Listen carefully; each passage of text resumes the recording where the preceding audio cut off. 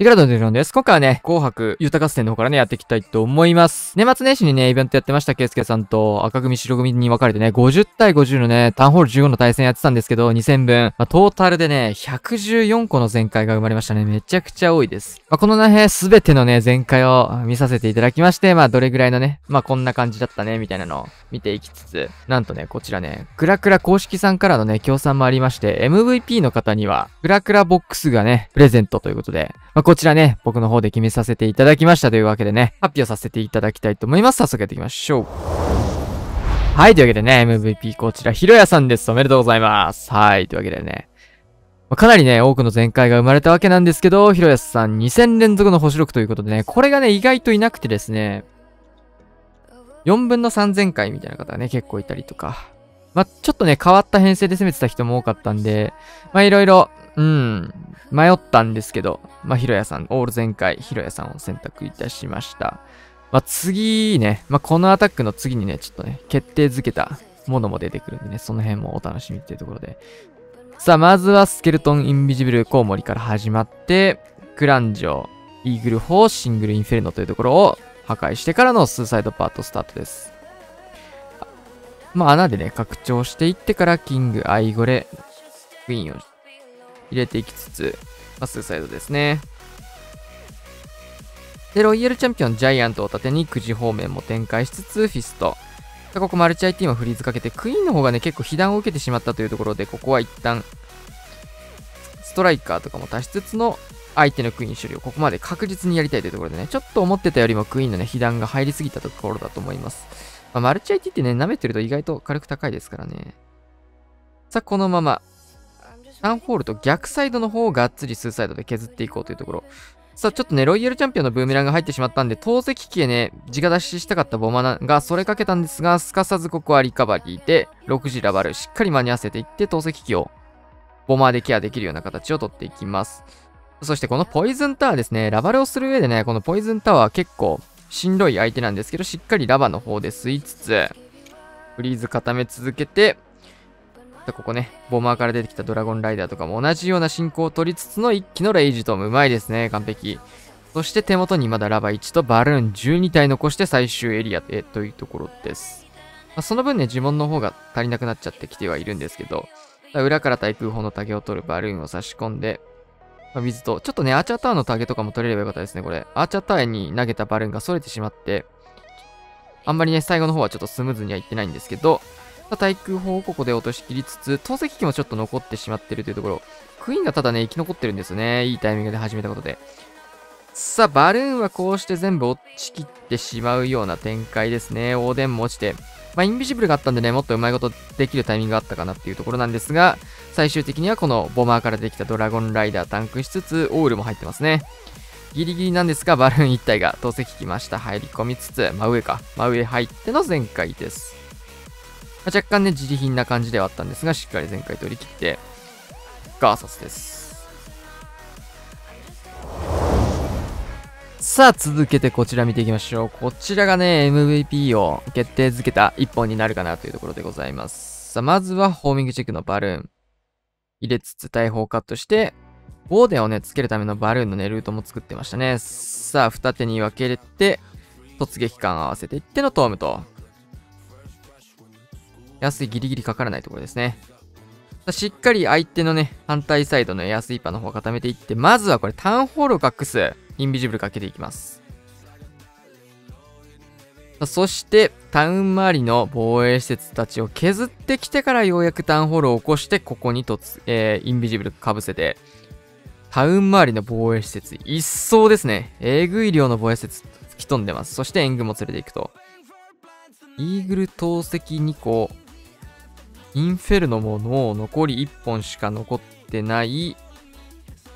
あとなんだ？モノリスも行かれてますね。あと呪文タワーも1本しか残ってないというところで、もうえげつないアドバンテージですね、これ。しかもこれ、ウォーデンがね、生き残ったタイミングで始めることができてるんですよね。強い。さあ、ゴレム展開。ウォールブレーカー拡張しつつ、まあ、この辺でね、第1クロスのタゲ取っていきたいところですね。もこれスーパーアーチャーとかじゃなくて、スパウィズだったので、これまだ空に呪文があるんですよ。えぐくないですか？こっからまだレイジとフリーズ3発とポイズンとインビジブルと呪文がめちゃくちゃ残ってるような展開を作ることができてる。これがすごいですね。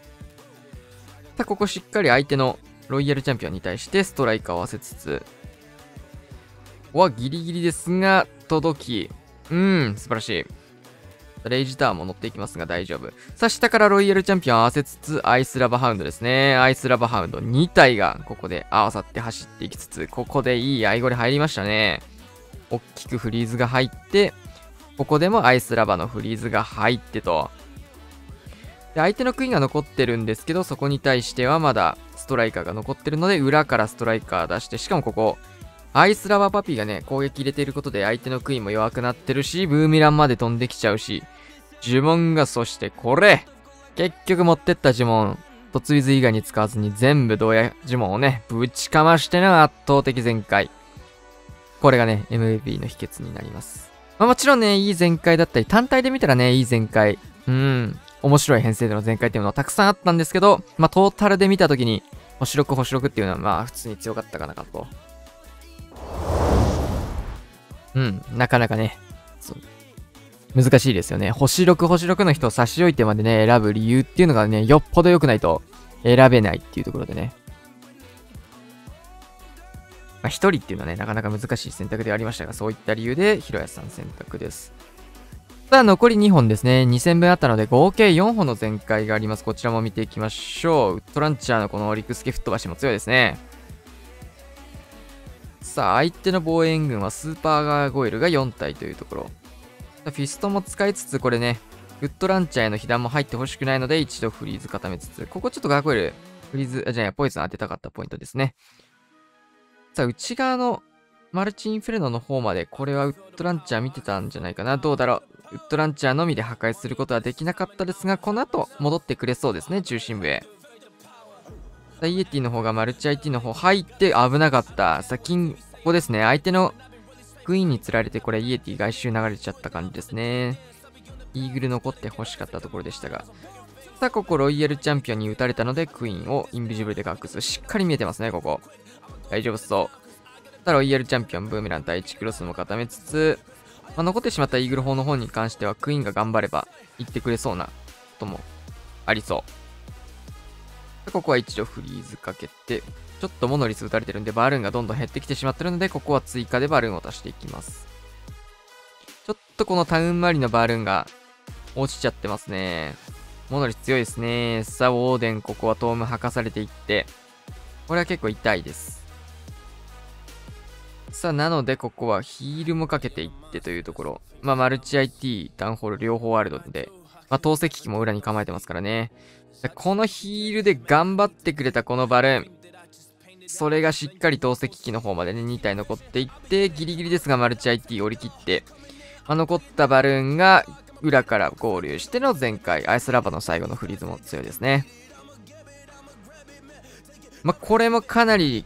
まあ、渋めというか、タウン前でね、かなりバルーンが落ちてしまったところを、まあ、トームも吐かされたところでね、あんまり理想的と呼べる展開ではなかったんですけど、それでもしっかり取り切っていく。これね、かなり大事なことですね。特にタウンホール15は、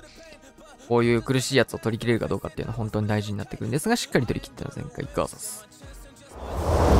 さあ本日ラストアタックです。61天才という形でね、まあ結構ね、いろんなラバルやるんですよ。だから、昔のヒロヤさんって結構ね、突イズばっかだったイメージがあったんですけど、タウンホール14の終盤の方からね、ウッドランチャー使ったりとか、こうやって天才だったりとか、スケルトンインビジブルだったり、ラバルのレパートリーがどんどん広がってきてて、まあ、タウンホール15でもそれは健在ですっていうところですね。まあ、結構ね、ラバルのやり方として一つしかできないとなかなか幅も狭いし、まあ、取れる配置とかもね、限られちゃうと思うので、いろんなね、ラバルが使えるっていうのは本当大事ですよね。ま、特にクラウスとかはね、そういう最たる例なんですけど、ま、ちょっとね、クラスの場合は型にはまらない攻めが多いこともあるので、一概にこういう攻めとは言いづらいんですが、今回は天才プラスシューターを使っていくような形ですね。そしてイーグル砲の方、周りの防衛施設を削ってドラゴンライダーを差し込むような形をとっています。